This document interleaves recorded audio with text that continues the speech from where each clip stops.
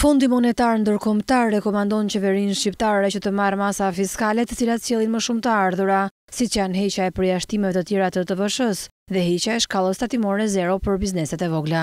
Deklarata përmbyllëse, e cila përshkruan konstatimet paraprake të stafit të FMN-së në fund të vizitës në Tiranë, thekson se nevojitet një strategji të ardhurash afatmesme, për një konsolidim të besueshëm fiskal. Në njoftim thuhet se autoritetet kanë miratuar ligje për disa nga reformat në politikat tatimore në përputhje me asistencën e mëparshme teknike të FMN-së. Miratimi në kohë i masave që priten të ndërmerren është shumë i rëndësishëm, përfshirë reformat në taksën e pronës dhe në lojërat e fatit. Ndërkohë thuhet se duhet të përfundojë puna për plotësimin e parakushteve për kryerjen në kohë të reformave në taksën e pronës, duke përfshirë ngritjen e një kadastre fiskale të centralizuar dhe vendosjen në funksion të saj. Mbledhja e të ardhurave të mëtejshme do të varet nga forcimi i administrimit të të ardhurave, duke përfshirë rritjen e pajtueshmërisë tatimore të individëve të pasur dhe nga plani i veprimit për Drejtorinë e Përgjithshme të Tatimeve.